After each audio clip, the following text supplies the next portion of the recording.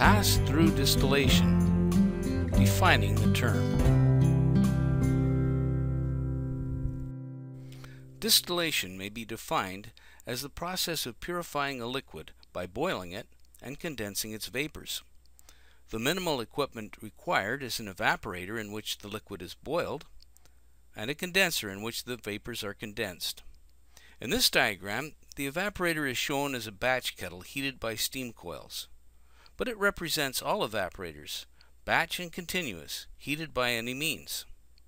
Similarly, the condenser represents any device that condenses a vapor through the removal of heat.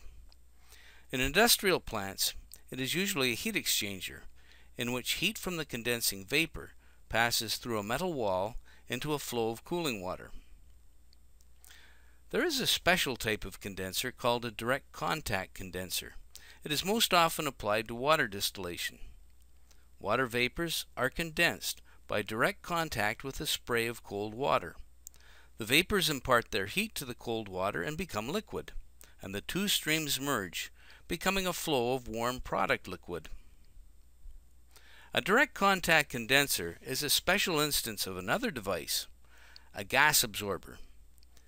Now gas absorption is a powerful separation technology normally used to selectively absorb certain components and not others from a gaseous mixture. For our present purposes, we will consider only systems in which the liquid absorbs all of the vapors entering the absorber. Gas absorption systems use a finite inventory of absorption fluid which is used over and over in a circuit. It enters the absorber in a lean state and leaves in a rich state with respect to the absorbed material. The absorption fluid must be returned to its lean state by boiling out the absorbed material and a distillation apparatus called a desorber. The product coming from the desorber's condenser will be identical in volume and composition to the vapors originally generated in the evaporator.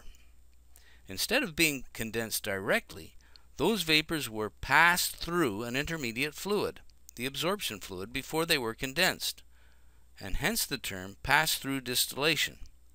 Pass-through distillation then is merely a shorthand way of saying an evaporator connected to a gas absorption unit. Now the term is defined, but the utility remains a mystery. Why would you want to boil the same thing twice? In our next unit, when we examine temperature and pressure relationships, some of that mystery will be dispelled.